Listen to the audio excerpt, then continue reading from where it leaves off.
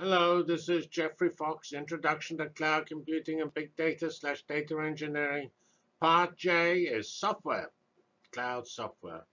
And let's get on with it. All right, so we're in the unit for cloud software. This is my research area, so maybe what I say has a little more um, substance than normal.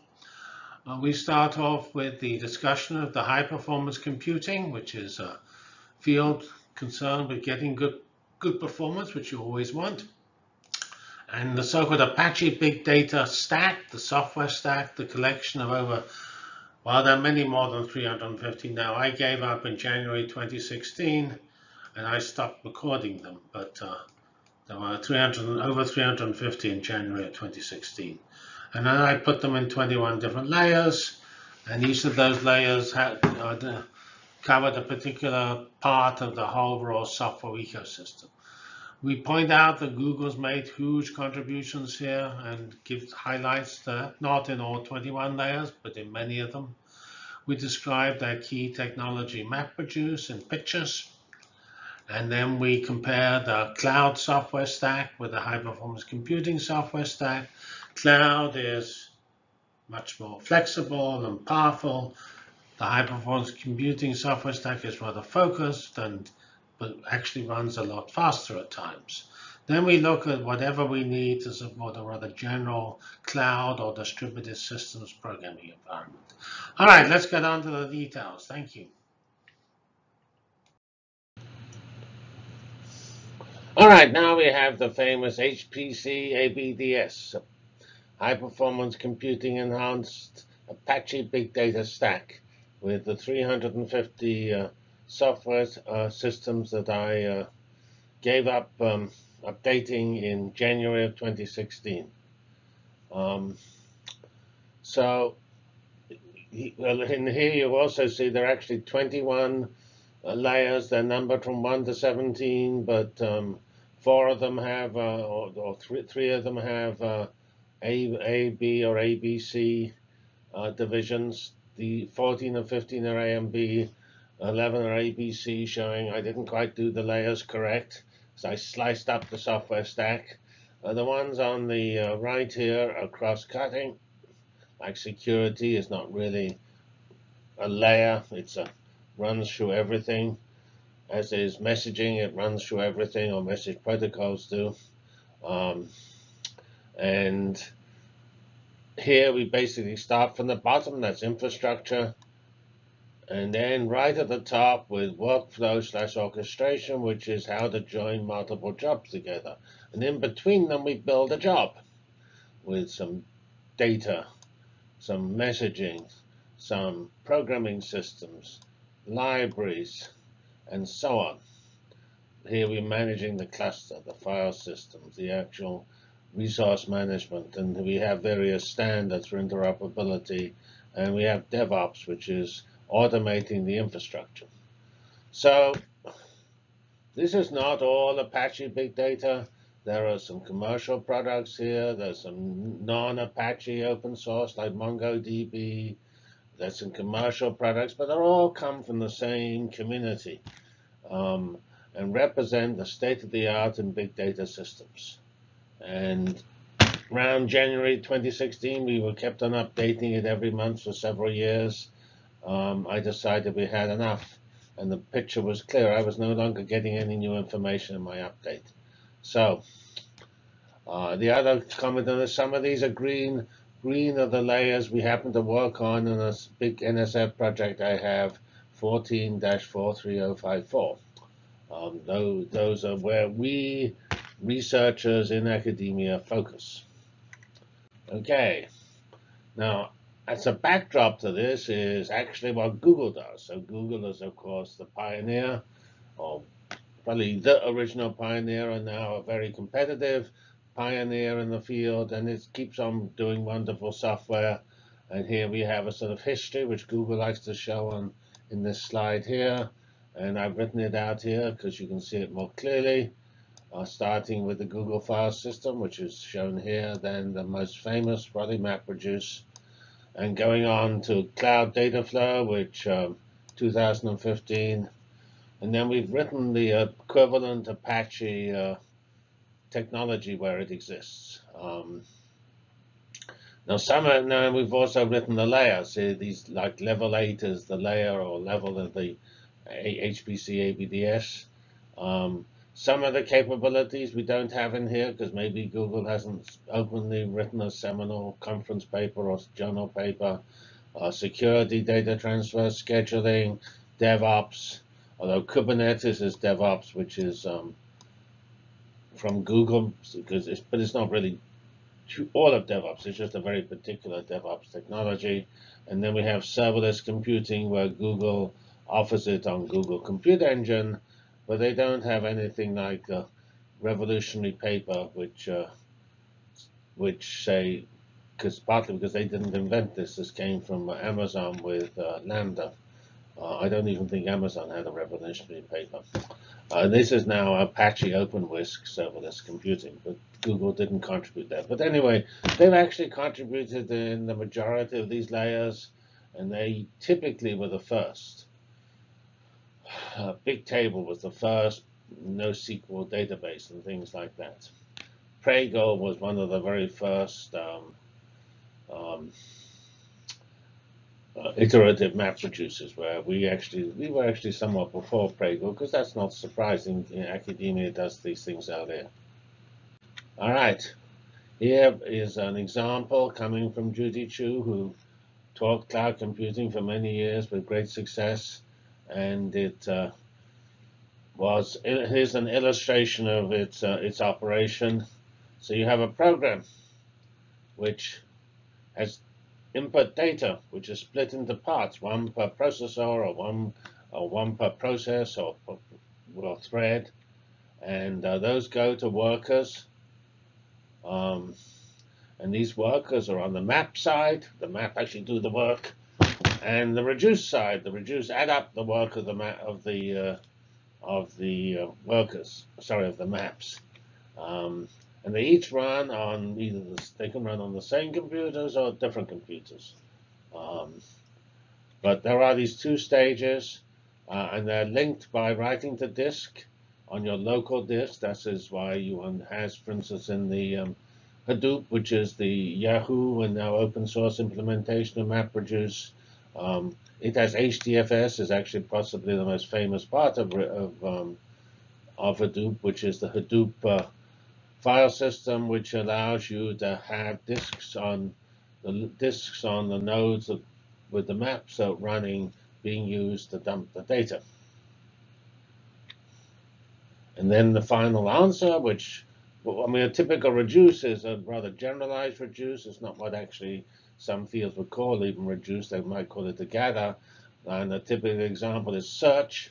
The map is diligently searching for what it wants on the, among the split up data, and the reduce does a sort on the reduce to sort the results in the order of most relevance. But it joins the results of the maps together. That's the so-called reduction. It's actually an increase operation, not a reduce operation. Um, this slide here is um, class, uh, sort of standard slide I've used in many forms for several years. On, on this side here, the left, it has the uh, big data stack, and on the right, it has a, what you might call a classic cluster stack. And it has these different layers. Doesn't quite have all the layers because some of them uh, we don't uh, particularly highlight in, in these when thinking about these stacks. Um, I like we don't actually have DevOps here, even though we're going to use DevOps. Um, so we start at the bottom with infrastructure, which, as I said, is going to be Docker or serverless uh, these days for uh, big data.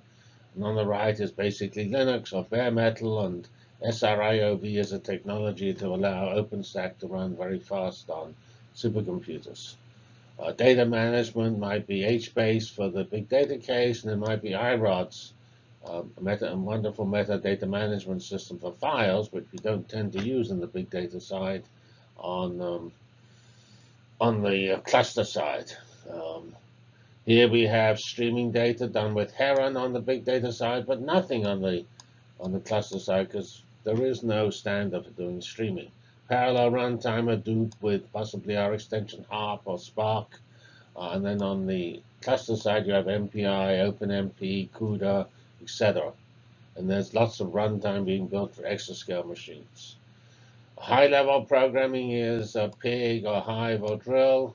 From the big data side, and it's the main Pacific languages on the uh, um, cluster side. I had the nerve to put Twister2 as platform as a service. That's our own system. But there is endless, uh, if you just look at uh, level 15b, you'll find lots and lots of examples in the big data space. Orchestration is Google Cloud Dataflow up here, which is Apache Beam. And then on the cluster side, you have Kepler, Pegasus, Taverna. Libraries, here I put our own SPIDAL Big Data Library, TensorFlow. Python has lots and lots of libraries.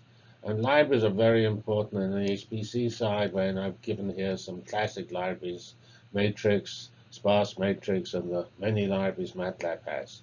Languages are also a little different. C, C, C++, Python, and Fortran.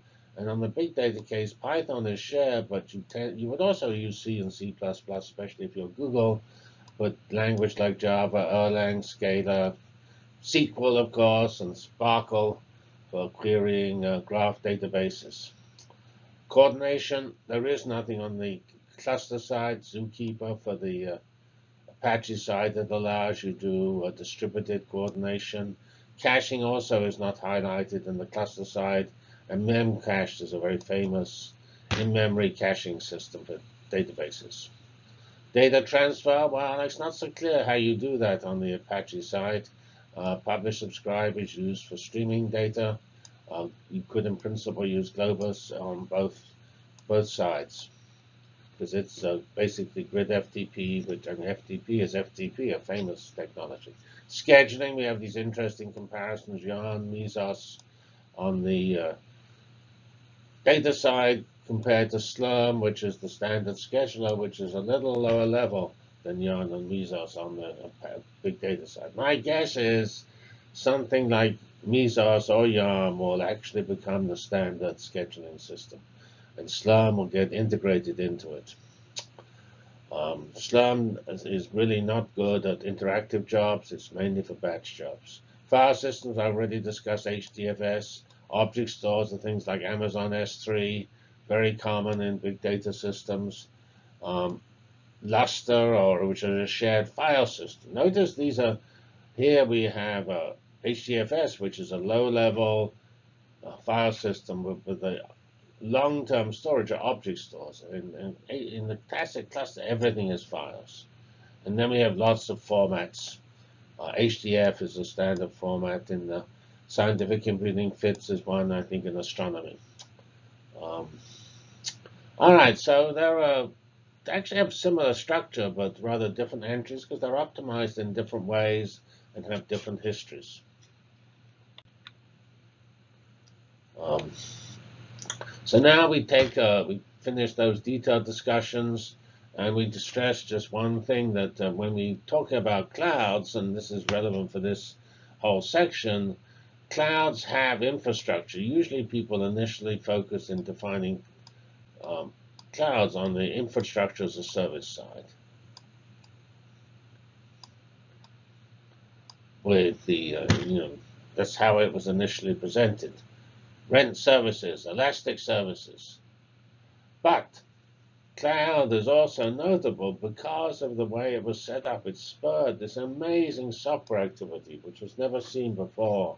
At least I don't remember such an amazing coordinated uh, software activity um, done by the community. And the community was just very big because there were so many large companies. The previous communities like when web services were created, that community was much smaller than the community that created big data software. And that's actually sort of interesting. It might be worth studying why the communities have different sizes. All right, so here is a rather technical two slides, which I don't recommend going to any, any detail. They basically reflect the, the reverse engineering that we did on the programming models which have some runtime which supports the processing of big data. And we divided them up into areas. For example, we have so-called coordination points. That's because typically these um, runtimes support data flow, and data flow has something going from point A to point B to point C, and, and they do some linkage at these points. So those are coordination points. That's where you can change what's happening. That's where you can do backups. Very important. Spark, for example, is well known for its RDD backup system or or um, caching system, and that happens at coordination points. It's not present in, say, MPI or classic, other classic runtimes.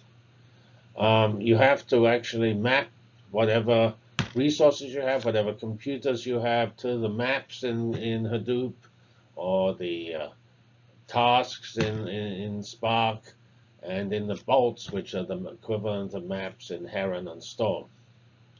And um, that you have to decide whether you're going to use containers, processes, or threads.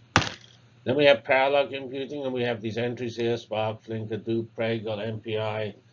They all have different modes, and uh, they, sorry, they all are different modes, and they reflect parallel computing being universal, but being implemented in different ways. Uh, as we, when we discuss parallel computing, we will we should note, although I don't, I don't think the slides do, the owner computes rule, which is reflected in most of these modes, which says if you're a computer and you're in charge of data points X, Y, and Z, you calculate whatever's connected to X, Y, and Z. So the owner compute rules says where the data stored is where the computing is. And there's a reason for that. You don't want to transmit the data because communicating data costs time. So you try to do the computing where the data is. That's a very important principle. Uh, we have job submission, and then we just have here various job submission technologies, Slurm, Yarn, Mesos, Marathon, Aurora. The last four are all Apache's type uh, um, job submission technologies. And then you would, then you can of course take Python and actually have your client API be Python, and it can invoke these plugins. Mean, a typical uh, architecture is to have the user sitting on a client running some powerful system, MATLAB, I mean, well, let's say it's Python. And that Python is not actually doing the computing, it's invoking the computing. So it's a proxy to the computing. It's a very important idea. People think some things are very inefficient. They're not inefficient because these slow technologies like Python are not used to do the job. They're, do, they're, they're the logic that invokes the job. Um, well, um, if we now look at the tasks, we have to migrate tasks. We monitor them, see when they're busy, see when they need to be moved off a busy core and put on a non-busy core or busy node and a non-busy node. Uh, elasticity, which uh, is certainly seen in OpenWhisk, is a key technology. Streaming and function as a service. Those involve events. Those events have to be processed with technology like Kafka or RabbitMQ. And then they're handed to OpenWhisk or Heron. OpenWhisk is function as a service, Heron is streaming. Uh, we have to study the task execution, whether we do process on threads, we'll have queues of work. Scheduling, we have to schedule the work. And this Spark, for instance, does uh, dynamic scheduling, Flink does static scheduling, and then generally you want all types of scheduling. So you need to be able to choose and plug in different scheduling algorithms. You also have to support accelerators. Sometimes your work is done on your Intel or AMD node, sometimes on an accelerator from NVIDIA or, or um, Intel, like where it's CUDA is the software for NVIDIA, and Knights Landing with Intel's DAAL is an Intel accelerator.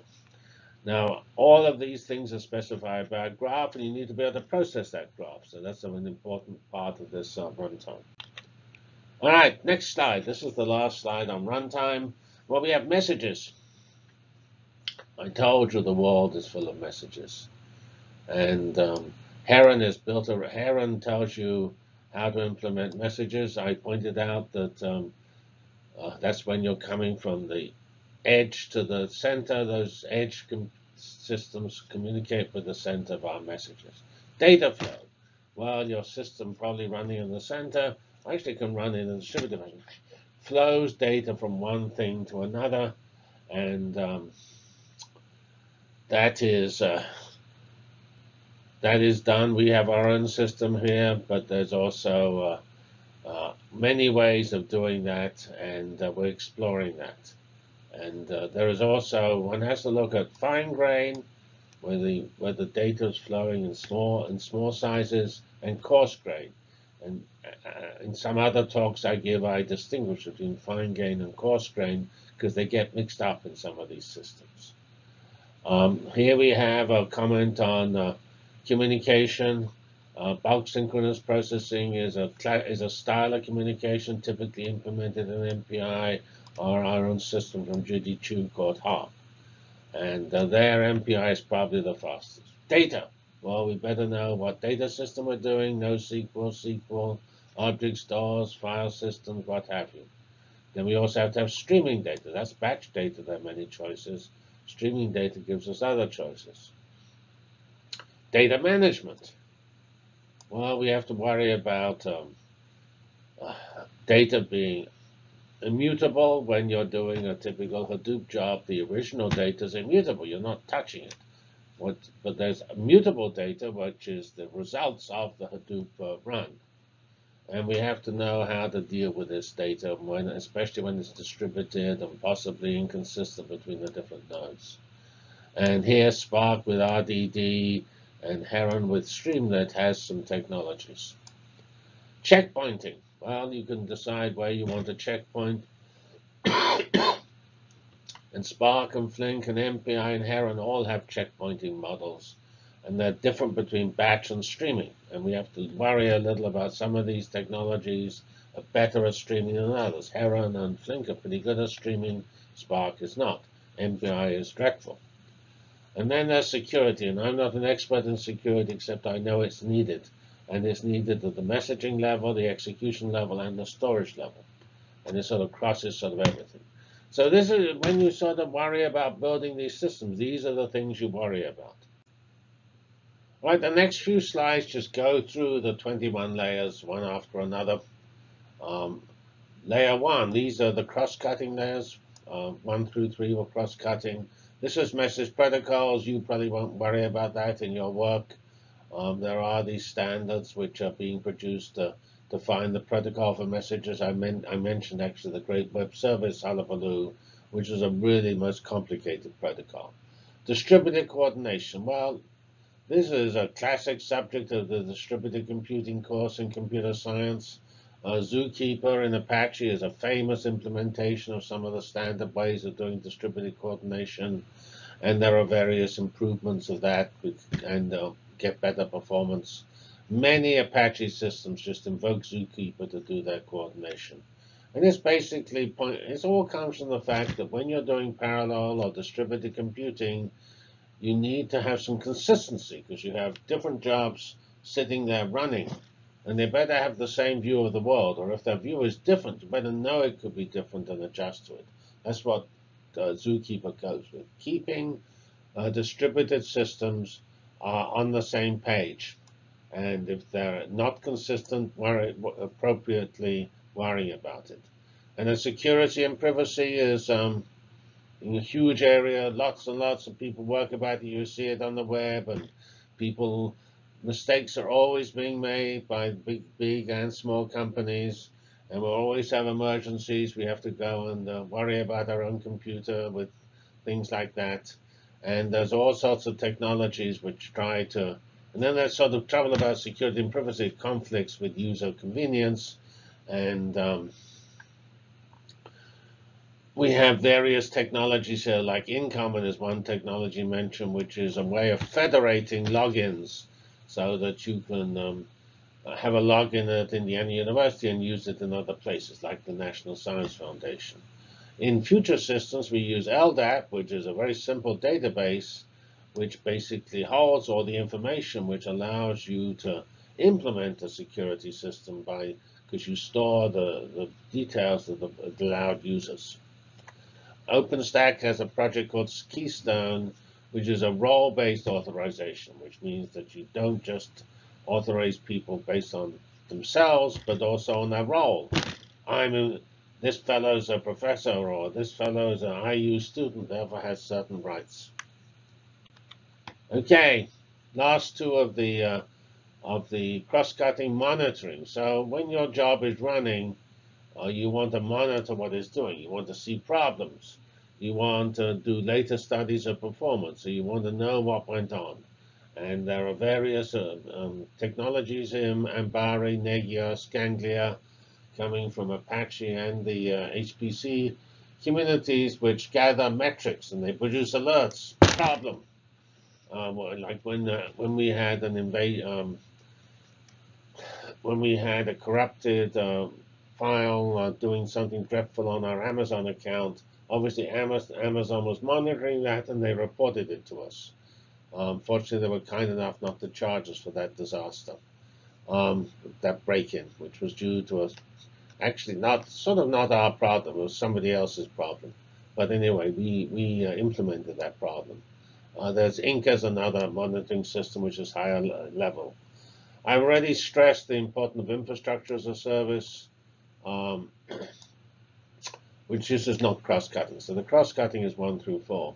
Five is infrastructure as a service, and uh, it has all the things, including OpenStack.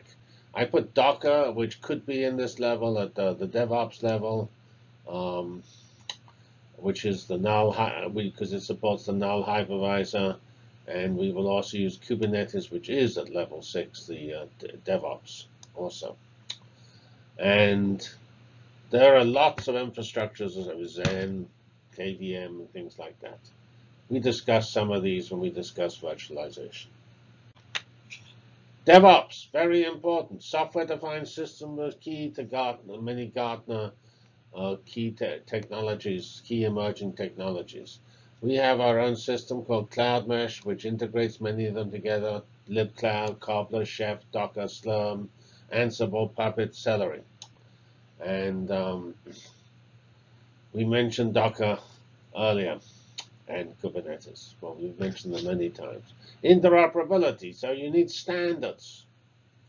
For services, compute, OCCI is a standard from the Open Grid Forum for um, cloud computing. Virtualization standards and storage. CDMI is a storage standard. So getting standards approved and agreed is a bit of a fight because uh, people like Amazon are not terribly motivated to set standards because it's for they don't want you to be able to move from Amazon to Google seamlessly. They want it to be painful. So you stay with Amazon because they're winning. All right, file systems is the next uh, layer. Um, and files will always be there because you're going to have systems in the back end, but you may not expose files. And the high performance computing tends to, and also Windows exposes files to the user. But in most uh, commercial data management systems, you actually expose a higher level concept and object uh, with OpenStack Swift or Amazon S3. Um, and I say there's a difference between science, which tends to always use files, and commercial systems, which always use objects or higher level systems. While you're running almost certainly one or more clusters, they have to be managed. And I already mentioned Mesos, Yarn, and there's Slurm, and then a we have also the um, uh, systems like Moab, uh, uh, SunGrid Engine, OpenPBS, and Condor, which come from the grid, what was called the grid initiative, which is now sort of actually grid computing di died in the slough of uh, the, whatever it was of, um, of uh, dis despair or something. Anyway, it did, it did not make it into the uh, productivity slopes. Um, and we have to worry not only about um, managing clusters, but also managing collections of clusters. And cluster management, scheduling, and things like that they're all rather, and the difference between planning and execution. These are sort of four different things, but they're all mixed up in these technologies and they're actually mixed up in the user's mind, including my mind. Um, but they are actually clearly distinct. Um, and you have you should uh, worry a little about that. All right, layer 10, 11, 12. And 11 has three uh, components. 11, uh, 12, 10 is data transport, what I already mentioned when I looked at the software stacks. The Globus line or Grid FTP is dominant in the high performance computing community, but not so in uh, commercially, although it is used. Um, 10, most commercial systems are built around simple HTTP, HTTP protocols, and um, also they sometimes just send things by disk, by, by UPS or FedEx. Um, well, the next um, set is the different data stores, which again we've sort of discussed uh, as we've gone through already. NoSQL, SQL files, uh, and then when we look at uh, NoSQL, we have graphs, tables, documents, and objects. And these are all different uh, logical structures with their own management uh, specializations. Originally, this was all dominated by SQL databases commercially and file managers in science. Now it's much richer. Layer 12, in-memory databases and caches, object relational mappings, going back and forth between those two views, extraction tools. These are just sort of um, conversion tools to go from a from different ways of looking things to other ways of looking at things. and um, it also includes the. It's also pretty important to keep things in memory because that's what makes things run fast, and that's an area where there's a lot of attention. It sits in the Gartner uh, emerging technology uh, as very important and it's not much used in HPC, at least it is, but not by name, and it is very, very important in the big data world. Communication. Well, there's all sorts of important communications, from publish, subscribe, as you see in RabbitMQ or, Kafka. MPI is point-to-point -point messaging, which is the to be essentially by definition the fastest. You have point-to-point, -point, which is process number one talking to process number 73, and you have collective, which is process number zero sending data to all 1023 other processes. And there are various choices. It's not actually highlighted in the Apache, but it ought to be. And they have different choices in functionality, performance. And performance has two features. Bandwidth. How many bytes can you stuff down that that pipe per, per, millisecond, and also latency. How long does it start to get things pulled up and get going? Um, publish subscribe has got longer latency because it has a very queues everything, and so setting up the queue for a given message takes a little while. Uh, where possible, you should use publish subscribe because it's got very important uh, robustness and convenience technologies. Programming. Well, I went through how to do programming. That's that runtime. And then we have Twister, Twister 2, Stratosphere, which is actually now Flink, Hadoop, Spark, so on. And then in the streaming case, we have Storm, Heron, etc. And we used to have, you, somewhere in A and B, you need to have either for basic programming without streaming or one with streaming, you need to have one of those, else how can you do anything? Above that uh, is high-level programming, and um, you don't have to have high-level programming. Pig is a good example of a high-level system. Shark is Spark, SQL based on Spark, and so on. Hive is uh, SQL based on Hadoop and things like that. Drill uh, has a, a SQL data interface to non-SQL data stores, including HDFS. Um, well, B is a little different. It's a framework as, a, as opposed to what we just discussed, and uh, is typified by the platform as a service, um, which is just a, it's not um, it's not a high-level interface. A platform as a service is a collection of tools. Um, and that was what Google App Engine and Azure offer, and actually Amazon, of course, offers that now. Um, 16 is the uh, is the user level applications and libraries, and you'll find lots of libraries: Mahout, MLlib, MLBase for, for Apache. R has got a wonderful collection of libraries and statistics. Um, should have TensorFlow here, and the new library from Google for deep learning and other machine learning um, Caffe for deep learning, ImageJ for images, lots of bioinformatics libraries, and high performance computing as ScaLAPACK and PETSc. Then we finally have the last layer, workflow and orchestration. That's how you join jobs together. The architecture is you have a job, which is sort of a self-contained thing which runs and has an input and an output. but then to do something real, you often need to put several jobs together because you need to, I don't know, cluster the cluster the data and then visualize it. So those are separate jobs. And orchestration or workflow does that clustering. And they have much higher, these things you're joining together are very big. They each run for a long time. So you can, workflow and orchestration is not terribly performance sensitive. And um, we will illustrate this with uh, Access Pattern 10, which is a particular way of doing things with uh, the 10th NIST Access Pattern, which has workflow and orchestration in it.